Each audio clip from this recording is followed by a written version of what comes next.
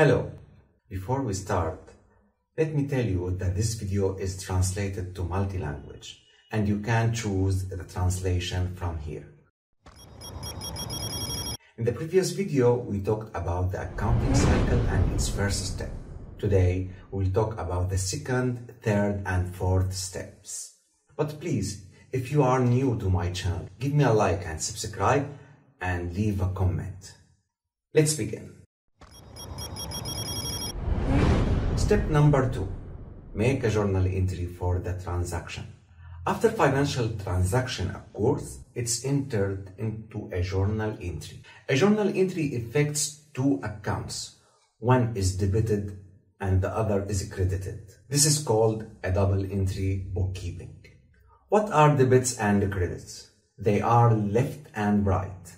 They describe the double-sided nature of the financial transactions. In double entry, if money goes into one account, it has to go out of another. Still bit unclear? Don't worry. In this illustration, we'll see how accounts are affected by debits and credits. Here we can see assets and expenses. Their normal balance is debit, so they increase in debit, decrease in credit.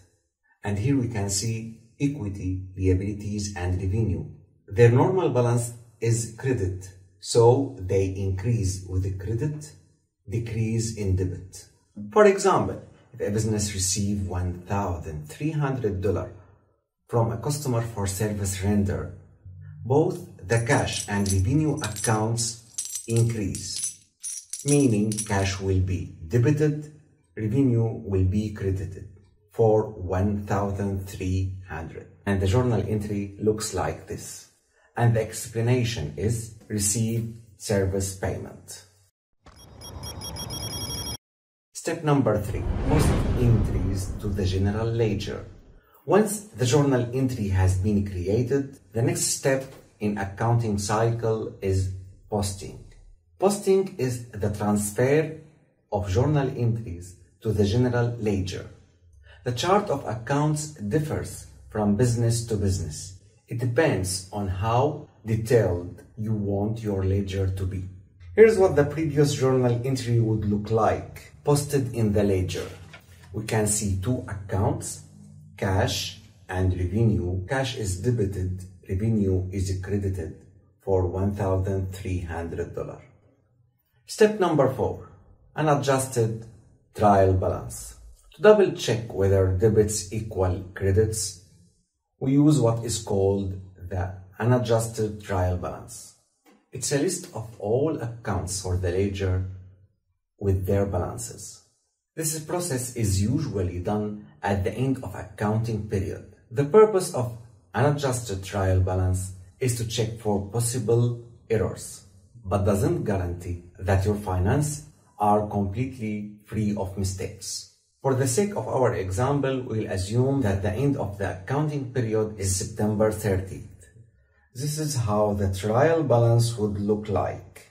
We have here cash in the debit, service revenue in the credit, and balances are equal, debit equal credit.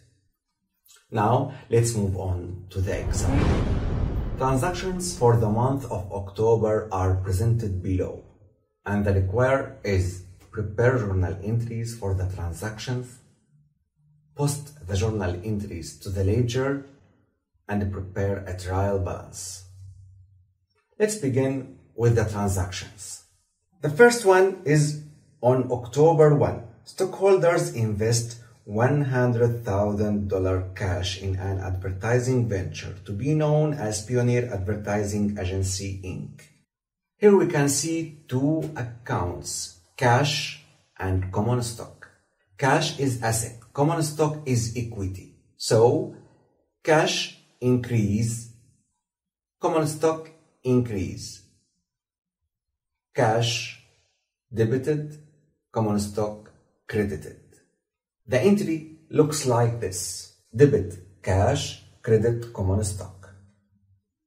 And now we will post this entry to the ledger, we have two accounts, cash and common stock. Let's move to the second transaction. October 1, Pioneer Advertising purchases office equipment costing $50,000 by signing a three-month 12% 50,000 note payable. We have here equipment and note payable. Equipment is asset. Note payable is liability. Equipment increase, note payable increase. So equipment will be debited, note payable will be credited. The posting looks like this to the both accounts, equipment and note payable.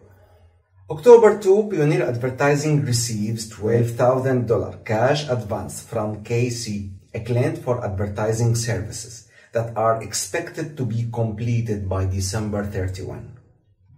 Here we have cash, its assets, and unearned service revenue, its liability. Cash is increased, unearned service revenue is increased, so the journal entry debit cash, credit unearned service revenue for $12,000. October 3, Pioneer Advertising pays $9,000 office rent in cash for October. Here we have rent expense and cash. Rent expense is increased, cash is decreased. The entry debit rent expense, credit cash. And the posting looks like this. October 4, Pioneer Advertising pays $6,000 for a one-year insurance policy that will expire next year on September 30. Here we have prepaid insurance. It's an asset. And cash, an asset. Prepaid insurance increased. Cash decreased. The entry debit prepaid insurance, credit cash. And the posting looks like this. October 5, Pioneer Advertising purchases for $25,000 on account an estimated three months supply of advertising materials from Aero Supply. Supplies is an asset. Accounts payable is a liability. Supplies increased. Account payable increased. The entry debit supplies, credit accounts payable. And this is a posting.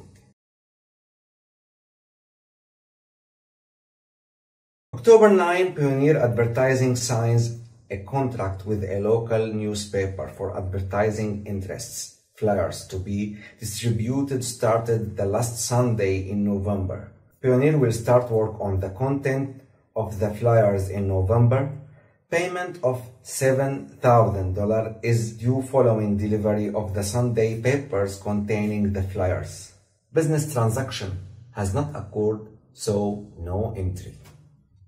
October 20, Pioneer Advertising's Board of Directors declares and pays a $5,000 cash dividend to stockholders. Dividends decrease an equity and cash decrease assets.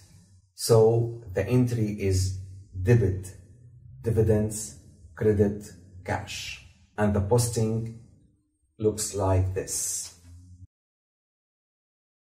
October 26 employees are paid every four weeks. The total payroll is $2,000 per day. The pay period ended on Friday, October 26, with salaries and wages of $40,000 being paid. Here we have salaries and wages expense and cash. Salaries and wages expense increase, debit, cash decrease, credit. October 31, Pioneer Advertising receives $28,000 in cash and bills Copa Company $72,000 for advertising services of $100,000 performed in October. Here we have service revenue, cash and accounts receivable. The entry is debit cash, account receivable, credit service revenue and the posting will be to three accounts. Now, We'll go to the trial balance, but before we have to know what are the balances of all accounts we have. For example, if I have a cash account, I have to sum debit side and the credit side. And the residual is the balance. Here we have cash balance is $80,000. We can see it in an adjusted trial balance like this. Here we have cash, $80,000. We have accounts receivable, supplies, prepaid expenses, and so on. After we took all of accounts and their balances, we have to sum debits and the credits. They must be equal. This is all for today. See you next video.